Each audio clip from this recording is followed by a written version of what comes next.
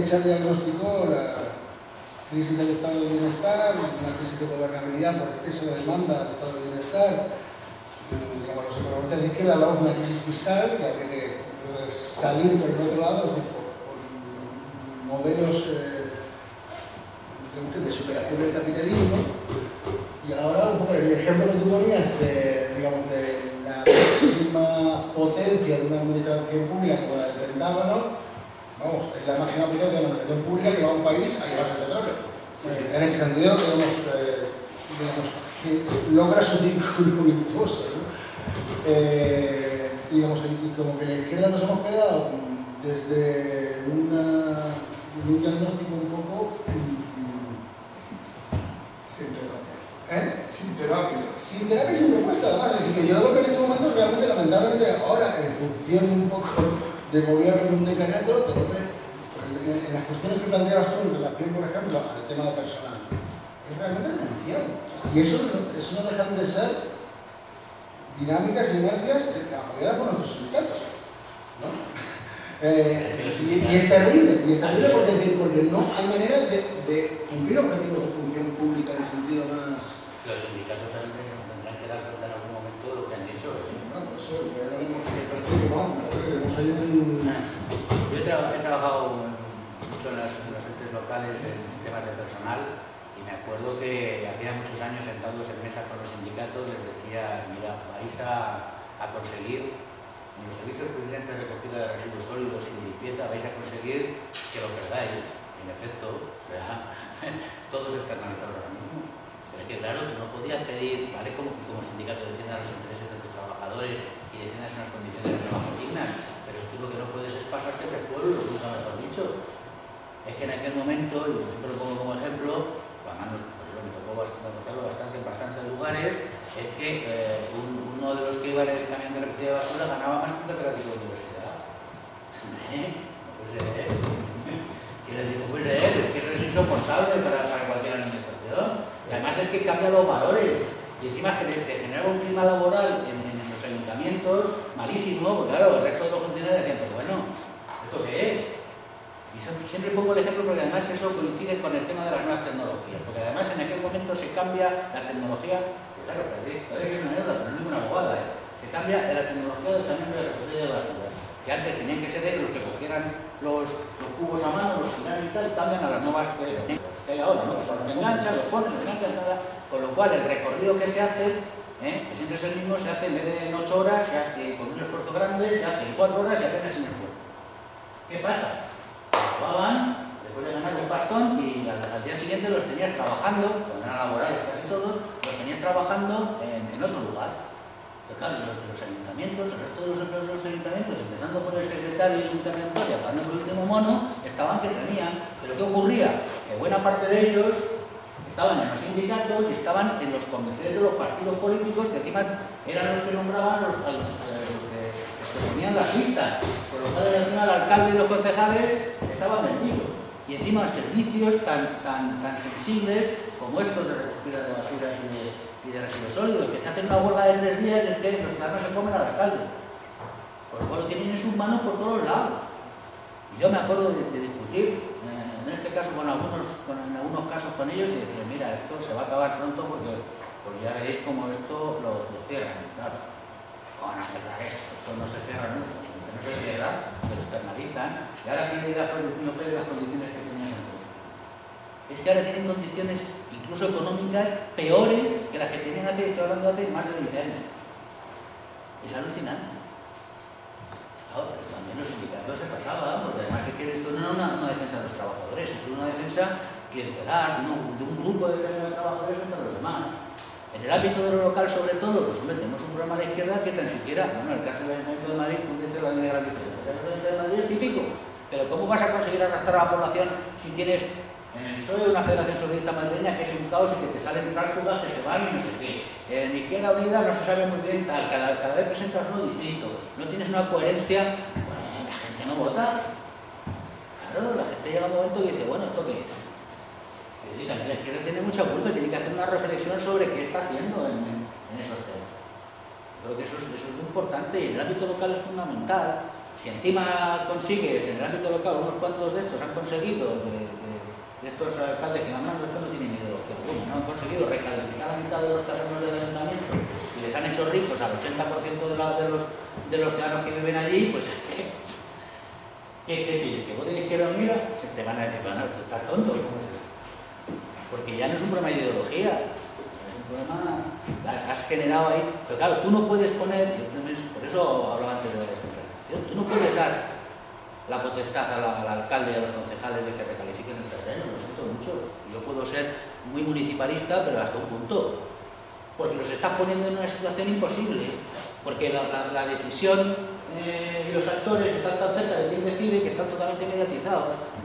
¿Cómo demonios el, consistorio no va a recalificar los terrenos? ¿Les afecta a ellos, a toda su familia, a todos sus amigos? Es imposible, está es imposible. Luego ahí nunca se daría esa, esa potestad a los ayuntamientos. Es que, ¿qué centraliza él? ¿Y qué centraliza Miguel ETA? Es que, vamos, porque está el nivel de, supervisión de la comunidad autónoma que puede parar los, acuerdos. Pero ese lo pongo como ejemplo hubiéramos dejado a los alcaldes y a los ayuntamientos, ahora no tenemos ni un parque natural. Lo hemos urbanizado todo.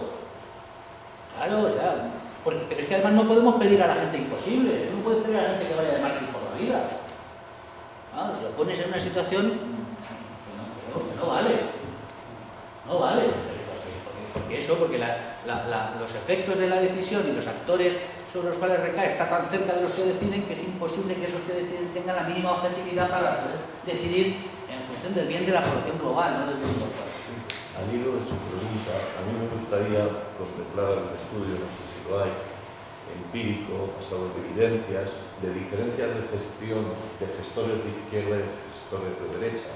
Por ejemplo, yo que estuve en el Ayuntamiento de Madrid, gestión de la calidad, no llegué a lograr ese estudio, pero es evidente que hay grandes gestores de la derecha, el Ayuntamiento de Vitoria, por ejemplo, y, y, Alcobendas cuando era de la izquierda, bueno, de la izquierda, del sol. Alcobendas, es un referente en el ámbito local, pero fue Labrada, eh, fue la Leganés, es otro referente. Leganés tiene un sistema informatizado de gestión de procedimientos administrativos espectacular. Sí, no, pero volviendo a tu idea que me parece muy interesante, que es del impacto. La calidad de los ayuntamientos la deben definir los ciudadanos los receptores de sus servicios, tanto cuanto les haya afectado, y eso se sigue sin medir, se mide poco. Y desde luego la izquierda estáis sin cuidado. Hombre, también hay otro tema interesante, es que luego es muy heterogéneo. Yo estaba poniendo el caso de, Madrid, el caso de Madrid, más que de grandes ciudades, la de capitalidad.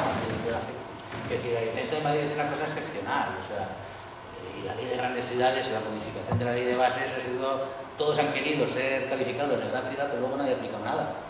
Todos estábamos esperando que en las elecciones anteriores, que cuando se hicieron las elecciones iban a aplicar algo, y que sin aplicar nada. El caso de Madrid y Barcelona, esta gran ciudad, es una cosa muy excepcional. Pero todos, todos entraron, todos quisieron entrar, todos pidieron a la comunidad autónoma, todos, digo, todos los, municipios del entorno de Madrid pidieron a la comunidad autónoma ser, eh, que se pudiera aplicar la reforma de la ley de bases, se llama la ley de grandes ciudades, que es la reforma de el título décimo de la ley de las local, que el único que podía entrar era Móstoles, porque era el único que medio cubría los, los requisitos, ¿no? pero entraron todos, Parla, Fuenlabrada, Leganés, Alcorcón, Alcalá de Henares, bueno, todos, todos entraron. ¿Pero para qué?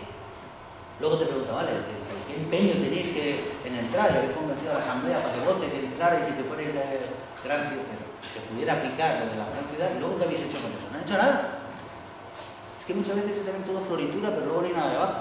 Y lo que sí es cierto es que hay que funcionan muy bien y luego, vamos a ver, igual que decía que hay que acabar con los tópicos, también hay que acabar con los tópicos de que, la izquierda gobierna mejor que la derecha en algunas ocasiones. ¿eh? Ojo con eso, que técnicamente, desde el punto de vista de la gestión, a veces la derecha funciona muy bien y la izquierda es un desastre. Bueno, yo conozco casos en, de algunas comunidades autónomas que en, Cataluña el tripartito y en, en Galicia el, Venega. Estaba pensando, Dios mío, que vuelva al sistema clientelar-fragista, porque esto nos llevan al desastre, nos llevan a la ruina. Quiero decir que por ser nacionalista no quiere decir que fuera la bomba. Ser nacionalista, claro, quiero decir, eso es una, exageración. Sí, sí, pero, pero, pero es que veías algunos casos que, que era tal desastre que decías, por Dios, por lo menos con nosotros tenías un referente claro, pero es que estos no sabían a dónde iban. O sea, porque ser nacionalista no te da patente de corso para ser bueno en todo lo que haga. Pues, eh, pues decir que es de izquierda, que ya, te da patente para hacer. No, perdona usted que no. Y hay veces que hay una izquierda que se pasa, pero vamos, que hace cosas que dice, bueno, ¿dónde van estos? ¿Dónde van? ¿Qué es lo que estás pensando? Yo he conocido casos, por ejemplo, de, gente que ha tomado, que ha llevado poder, de, partido, de, gente de partido de izquierda, porque luego, claro, hablas de ellos, y luego hay una heterogeneidad de gente de todo tipo, incluso el PSOE, ¿eh? que tampoco puedes generalizar, pero gente que ha llegado al poder en un ayuntamiento, en un ente local, en una, o en una administración central, en una administración central, que ríes tú de, los déspotas de la, de la extrema derecha, que eran más déspotas que nadie. Y encima dice, bueno, aquí es un despotismo ilustrado, pero aquí es un despotismo sin ilustrar porque eran unos ignorantes totales. Con lo cual decía Santo Dios, claro, ¿qué, qué dice, van? Quiero decir, que ahí la izquierda también tiene mucha culpa de no formar a sus, a sus dirigentes, de no darles uh, una visión estratégica, de no de hacer un montón de cosas que tienen que hacer. De aprender de su propia experiencia. Bueno, tenían, claro. tenían, Córdoba claro. y Oliva hacia Madrid, un verdadero laboratorio para decir cómo lo han conseguido. Pues, Hombre, y no solamente Córdoba, tenían todo el cinturón industrial de Madrid, todo el cinturón, el llamado cinturón rojo, o sea, Parla, eh, esto, Pinto, San Martín de la Vega, o en Labrada, y todos los elementos de trabajo, casi todo ese trabajo con ellos. Y joder, no me acuerdo San Martín de la Vega que era 20 más votado. Se pegan personalistamente, ¿eh? Izquierda Unida del PSOE y se cargan a Izquierda Unida del PSOE. Que eso lo he vivido yo personalmente, o sea, un alcalde que tienen del PSOE y se lo cargan entre todos. Y se cargan incluso el, el, el, cabo, este que tiene montado, voto mejor a los otros. Y cuando conocías a los otros, a tu cielo ¿Cómo eran los otros? bueno, es bueno.